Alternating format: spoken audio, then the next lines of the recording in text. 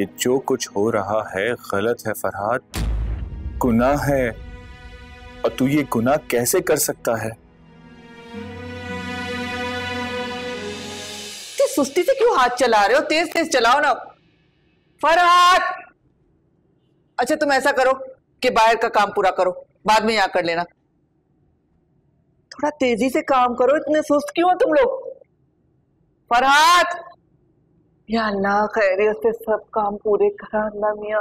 अम्मी इधर तो आओ बैठो मेरे पास मेरा दुल्हा बेटा। बैठो। अरे अरे तुम्हारा मुँह क्यों उतरा हुआ है? आज तो इतनी खुशी का दिन है। कितने दिनों से मैं आज के दिन का इंतज़ार कर रही थी। अच्छा ये देखो ये मेरी शादी का सेट है जो मैंने तुम्हारी दुल्हन के लिए निकाला है। देखो कैसा है। तुम्हारे मरूम अब्बा की आखिरी निशानी। मैंने तुम्हारी दुल्हन के लिए संभाल के रखा हुआ था। मैं तो कहती हूँ कि तुम मुँह दिखाई में ना वफा को ये सेट देना। देखो तो। अम्मी आपको अभी और इसी वक्त मेरी बात सुननी होगी।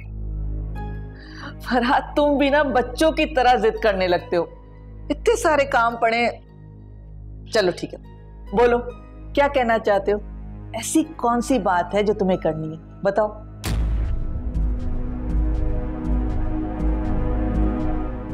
अम्मी